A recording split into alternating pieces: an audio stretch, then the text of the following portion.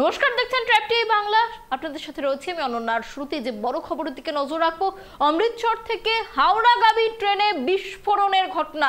Report অনুযায়ী down Howrah, Amritsar মেলের সাধারণ কামরায় এই বিস্ফোরণটি ঘটেছে। এই ঘটনায় চারজন জখম হয়েছেন। তাদের মধ্যে একজন মহিলাও রয়েছেন। জানা গিয়েছে, শনিবার রাত সাড়ে দশটা নাগাদ এই বিস্ফোরণটি ঘটে শিরহিন্দ স্টেশনের কাছে। পরে জখম যাত্রীদের স্থানীয় হাসপাতালে নিয়ে যাওয়া হয়। জানা গিয়েছে, বাজি ভর্তি এক প্লাস্টিকের থেকেই, প্লাস্টিকের বালতি থেকেই এই বিস্ফোরণ ঘটে। এদিকে এই ঘটনা নিয়ে তদন্ত শুরু করেছে রেল।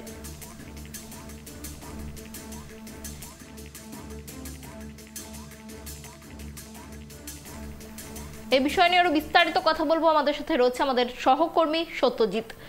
সত্যজিৎ, দেখো, যেমনটা জানা যাচ্ছে, হাওড়া মেলে বিস্ফোরণ। ঠিক কি ঘটনা ঘটেছে, কি জানা যাচ্ছে? দশটা নাগাদ। অমৃতসর থেকে হাওড়াগামী ট্রেন যাতায়াত করছিল, ঠিক সেখানেই কিন্তু এই বিস্ফোরণ ঘটে এবং বিস্ফোরণে চারজন জখম হয়েছে। এবার তোমাকে যেটা সবচেয়ে গুরুত্বপূর্ণ দেখো, যে ট্রেনের যাত্রী নিরাপত্তা নিয়ে কিন্তু একটা প্রশ্ন বারবার উঠে আসছে। আমরা বহুবার ট্রেন অ্যাক্সিডেন্টের ঘটনা দেখেছি, আমরা ট্রেনে আগুন লাগা, অগ্নিকাণ্ডের ঘটনাও কিন্তু আমরা দেখেছি। কারণ কিছুদিন আগে লোকমান্য তিলক এক্সপ্রেসে কিন্তু যে অগ্নিকাণ্ডের ঘটনা ঘটে এবং এর ফলে কুড়িজন কিন্তু জখম হয়েছিলেন। এবং গতকাল রাতে যেটা ঘটলো যে অমৃতসর থেকে হাওড়াগামী যে ট্রেন, সেই ট্রেন ইন্দাস যখন পৌঁছায় এবং সেখানে কিন্তু বিস্ফোরণ ঘটে এবং চারজন জখম হয়েছেন, তার মধ্যে শিশুও রয়েছে, মহিলাও রয়েছে। এবার সবচেয়ে যেটা বড় প্রশ্ন যেটা যে এই নিরাপত্তা বা এই নিরাপত্তা, যাত্রী নিরাপত্তার কোথা, কোথায়? বারবার যদি ট্রেন অ্যাক্সিডেন্টের কবলে পড়ে, বারবার যদি এরকম অগ্নিকাণ্ডের ঘটনা ঘটে, কারণ ছোটোখাটো অগ্নিকাণ্ডের ঘটনা তো বাদই দাও, কিন্তু বড় যেগুলো ঘটে, বিশেষ করে আমরা দেখেছি দু হাজার তেইশে যে ওড়িশার বালাসোরে যে ভয়ানক ট্রেন অ্যাক্সিডেন্ট হলো, কয়েকশো মানুষের মৃত্যু হয়েছিল। আমাদের পশ্চিমবঙ্গের উত্তরবঙ্গে যে কাঞ্চনজঙ্ঘা এক্সপ্রেস সেখানে কিন্তু বহু মানুষের মৃত্যু হয়েছিল। ফলে যাত্রী নিরাপত্তা নিয়ে কিন্তু একটা প্রশ্ন উঠে যাচ্ছে। কিন্তু আমরা বারবার দেখি ট্রেনের আপডেটের কথা, অগ্রগতির কথা। যে যেমন ধর নতুন ট্রেন এসছে, যেটা বন্দে ভারত, তার নতুন, আবার নতুন ডিজাইন এসছে।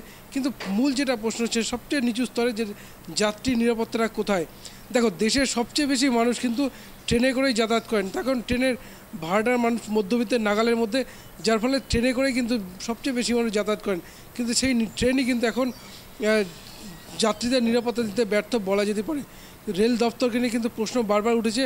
আবার উঠে গেল এই অমৃতসর এবং হাওড়াগামী যে ট্রেন সেই ট্রেনের এই আহ, বিস্ফোরণের ঘটা এবার আরেকটা তোমাকে বলব দেখো যে বিস্ফোরণে জঙ্গিদের হাত থাকতে পারে? এটাও কিন্তু একটা প্রশ্ন উঠে যেতেই পারে। ইতিমধ্যে তদন্ত শুরু করেছে রেল দপ্তর কিন্তু তদন্তে কী উঠে আসে সেটা এখন দেখার। অনন্যা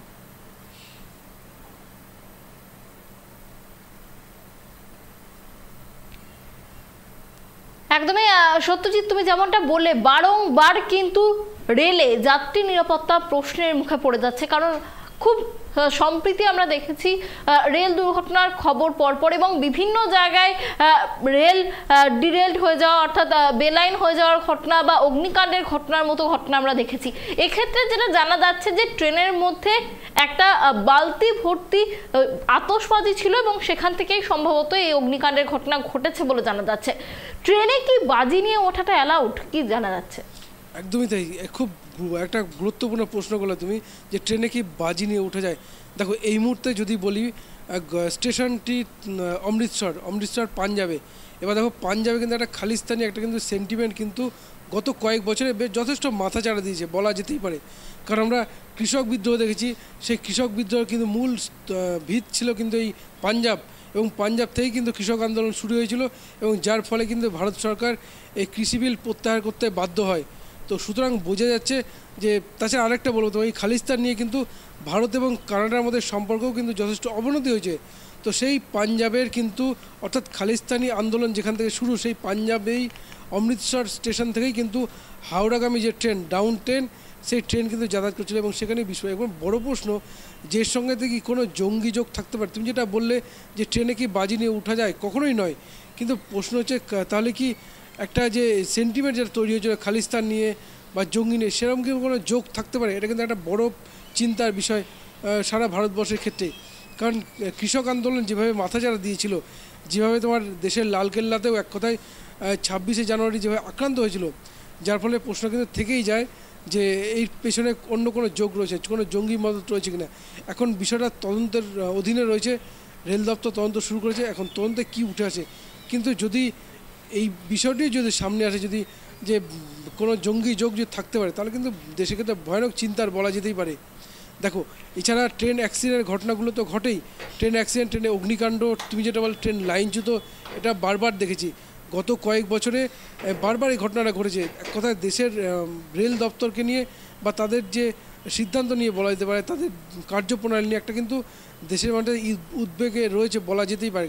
কারণ যাত্রী নিরাপত্তা নিয়ে যথেষ্ট প্রশ্ন রয়েছে এবং সেইখানে দাঁড়িয়ে এই যে বিস্ফোরণ ঘটে ট্রেনের মধ্যে, সেটা কিন্তু যথেষ্ট চিন্তার। শুধু রেল দপ্তর নয়, ভারতবর্ষের প্রত্যেকটা দপ্তর, অর্থাৎ নিরাপত্তা দপ্তরকে কিন্তু বিষয়টি খতিয়ে দেখা দরকার যে বিস্ফোরণটা এলো কোথা থেকে। অনন্যা। অনেক ধন্যবাদ সত্যজিৎ আমাদের সঙ্গে থাকার জন্য। আপনাদের আরও একবার জানিয়ে রাখি যে গুরুত্বপূর্ণ খবরের দিকে আমাদের নজর রয়েছে হাওড়া মেলে বিস্ফোরণ। আবারও একবার যাত্রী নিরাপত্তা প্রশ্নের মুখে। অমৃতসর থেকে হাওড়াগামী ট্রেনে বিস্ফোরণ। রিপোর্ট অনুযায়ী যেমনটা জানা যাচ্ছে, ডাউন হাওড়া অমৃতসর মেলের সাধারণ কামরায় এই বিস্ফোরণটি ঘটেছে। ঘটনায় চারজন জখম হয়েছেন এবং তাদের মধ্যে একজন মহিলাও রয়েছেন। জানা গিয়েছে, শনিবার রাত সাড়ে দশটা নাগাদ বিস্ফোরণটি ঘটেছে সিরহিন্দ স্টেশনের কাছে। পরে জখম যাত্রীদের স্থানীয় হাসপাতালে নিয়ে যাওয়া হয় এবং যেমনটা জানা যাচ্ছে, বাজি ভর্তি এক প্লাস্টিকের বালতি ট্রেনের মধ্যে ছিল এবং সেখান থেকে এই বিস্ফোরণের ঘটনা ঘটেছে বলে অনুমান করা হচ্ছে। আর এই ঘটনা কিন্তু আবারও একবার প্রশ্ন চিহ্ন এঁকে দিল রেলে যাত্রী নিরাপত্তা নিয়ে।